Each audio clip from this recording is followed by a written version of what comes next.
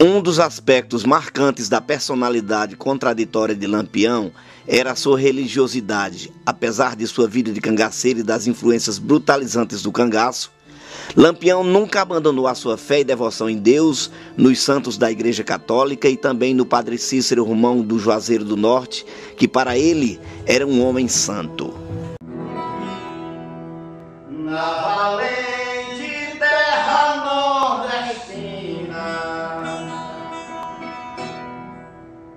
Lampião era um homem de formação católica e fazia questão de demonstrar sua fé.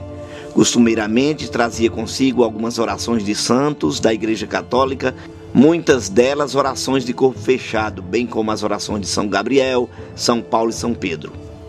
Outros santos faziam parte desta religiosidade e de sua devoção, tais como São Jorge, Santa Luzia e São Tiago. Estes eram santos de todas as horas e de todos os perigos que Lampião pudesse enfrentar. Certamente seria com estes santos que ele poderia contar. Observamos que estes santos possuem dentro do catolicismo popular uma referência de proteção a alguns aspectos que norteiam o cotidiano das pessoas. No caso de Santa Luzia, esta proteção vincula-se aos olhos. É a santa que protege e guarda a luz dos olhos de todos os perigos.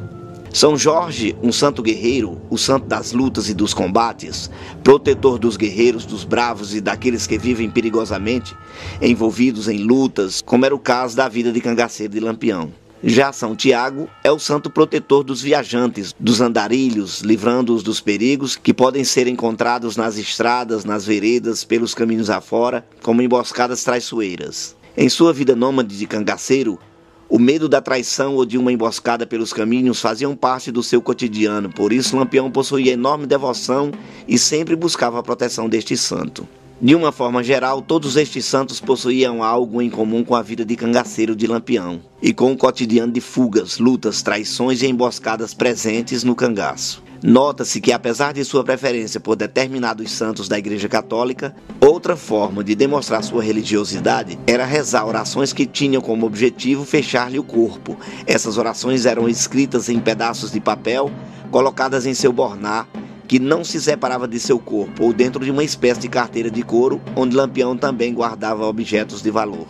Estas orações tinham o poder de fechar-lhe o corpo, protegendo-o de males ou de balas atiradas pelas volantes. Estas orações ainda hoje são comuns entre os sertanejos e geralmente são passadas pelos mais velhos aos mais jovens, sendo ensinadas pelos pais ou pessoas que possuem vínculos fortes de respeito, consideração e amizade. No caso de Lampião, ele aprendeu muitas dessas orações com sua mãe, Maria Ferreira, quando criança. Ao tornar-se cangaceiro, sempre que podia e os momentos eram favoráveis, pedia aos amigos e coiteiros como padre, beatos e rezadeiras para ensinar-lhe algumas orações fortes, capazes de guardá-lo do mal e fechar-lhe o corpo. Isto quer dizer que aquele que soubesse alguma oração de corpo fechado e tomasse certos cuidados, praticando-a de forma correta, estava seguro contra a peste, as balas mortais dos inimigos, salvo das águas mortais, açudes, represas, barreiras e águas vivas, águas do mar, rios e riachos, contra o aço, a lâmina afiada, facas, punhais e espadas,